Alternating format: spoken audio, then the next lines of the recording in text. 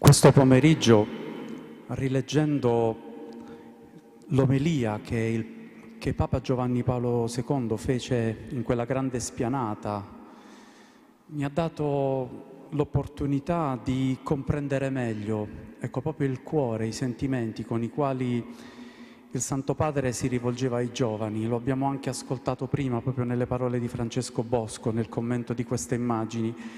Il Papa già sapeva, sapeva che sarebbe stata l'ultima volta in cui Ehm, avrebbe vissuto questa esperienza proprio di poter guardare i giovani di tutto il mondo con un solo sguardo. E infatti, guardando proprio questi frammenti finali del filmato, proprio è commovente rivedere proprio Giovanni Paolo II, questo anziano pastore curvato che porta il peso di tutta la Chiesa con questo sguardo perso verso l'orizzonte. Non è il Giovanni Paolo II di due anni prima, a Tor Vergata che si sveglia, è ancora sveglio, non vuole andare a dormire nel cuore della notte e batte sul eh, manico della poltrona, no? Eh, della sede, eh, il ritmo, il canto dei giovani che lo intrattengono ancora con i loro canti. È un altro Giovanni Paolo II. E questo si comprende ancora di più proprio nelle parole dell'omelia. Inizia proprio con un invito. Lui prende proprio il brano del Vangelo, voi siete il sale della terra, voi siete la luce del mondo. Sembrano proprio queste le parole che lui prende da, da Gesù e le offre ancora una volta ai giovani. Chiede ai giovani di essere coloro che daranno sapore al, all'umanità. Infatti dirà, voi sarete sale, cioè dovrete umanizzare questo mondo ed è anche, sembra un nonno, no? un padre anziano che si preoccupa di che cosa lascia ai propri figli e dice e si chiede quale mondo voi erediterete? Ed è un mondo che già si intravede. Non scordiamoci che in quegli anni, in quei due anni è successo di tutto. Ci siamo affacciati al 2000 con l'ansia un po' di varcare quella soglia, e poi ehm, sì, tutte le cose belle del Giubileo, tanti cristiani, dice anche il Papa, eh, hanno varcato la soglia della Porta Santa che rappresentava Cristo, però appena un anno dopo il mondo rimane sconvolto da un attentato, mai, mai prima di allora concepito, un attentato che colpisce l'intero mondo, non un, una sola città, quella di New York l'attacco alle torri gemelle. Se ci pensiamo da lì è cambiata tutta la nostra vita. Fare un viaggio è diventato complicatissimo. E allora è un Papa preoccupato che dice e si chiede ai giovani quale mondo voi state ereditando. E allora la voce diventa pressante. Lui dice c'è la voce nel Vangelo, nel Vangelo c'è una voce pressante di Gesù che vi chiede siate sale della terra, siate luce del mondo. E poi dice che cosa fare per rimanere nel suo amore? E allora il Papa a un certo punto mette i giovani di, di, fronte alle due scelte, come un padre che dice ai propri figli prima di uscire di casa per andare al lavoro, a scuola, dice attenzione, guarda a destra e guarda a sinistra prima di attraversare la strada. E lui dice attenzione, c'è lo spirito del mondo e lo spirito di Gesù. Però voi dovete sapere distinguere lo spirito del mondo dallo spirito di Gesù. E poi dice, parla di illusioni. State attenti alle illusioni che vi propone lo spirito del mondo. Sono parodie di felicità. Che espressione forte. Lo spirito del mondo è fatto di parodie di felicità e l'illusione più grande del mondo è pensare di trovare la felicità senza Dio lo dice forte e lo dice con una voce pressante. La voce pressante di Gesù diventa la sua voce pressante, quella voce che diventa sempre più afona, più, eh, più interrotta, più pesante sotto il peso degli anni. Ma il Papa lo dice forte e poi di nuovo rimette in ballo la sua preoccupazione. Il mondo che voi erediterete ha un disperato bisogno di senso di fratellanza e di solidarietà umana. Pone i giovani davanti a questo urgente bisogno che c'è nel mondo. Sono attualissime queste parole, anche in questi giorni. Senso di fratellanza, la stessa tragedia che è avvenuta nella nostra Italia, nel nostro sud, in Calabria. C'è bisogno di solidarietà umana, c'è bisogno di senso di fratellanza, sono nostri fratelli. E allora chiede ai giovani di essere sale, di essere luce di essere testimoni di questo amore. Il sale che cosa fa, dice il Papa? Conserva, mantiene. E allora dice, come il sale è capace di conservare, di mantenere i cibi, anche voi, se volete essere sale, mantenete viva la consapevolezza di Cristo. Che bello.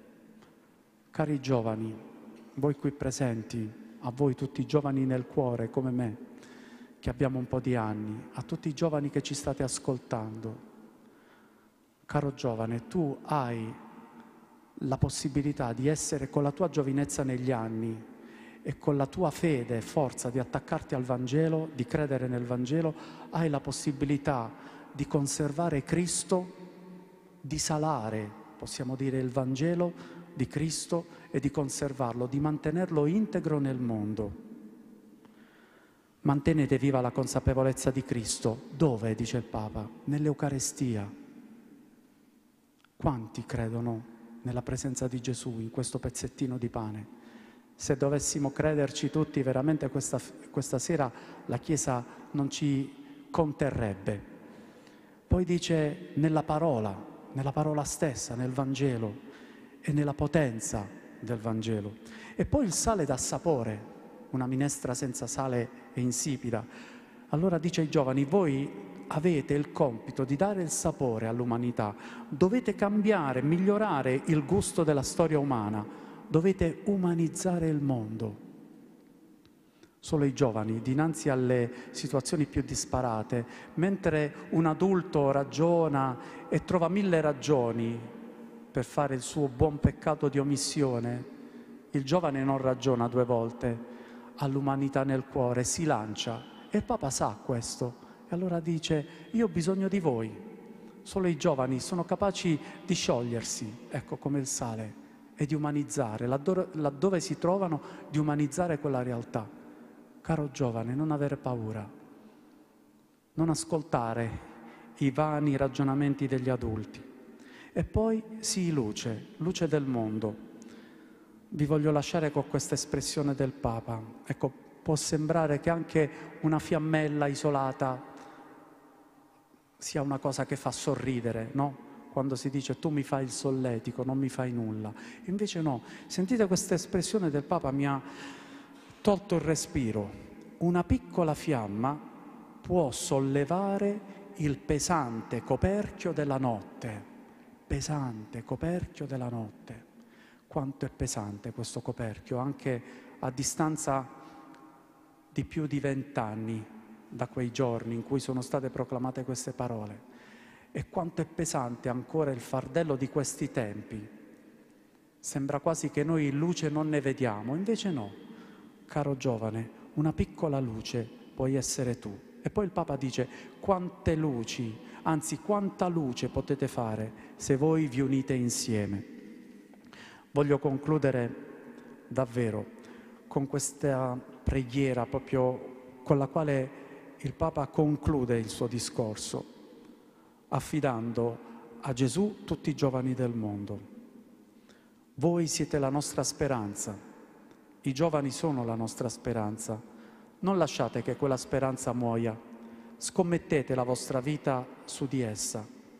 Noi non siamo la somma delle nostre debolezze e dei nostri fallimenti, al contrario, siamo la somma dell'amore del Padre per noi e della nostra reale capacità di divenire l'immagine del Figlio suo.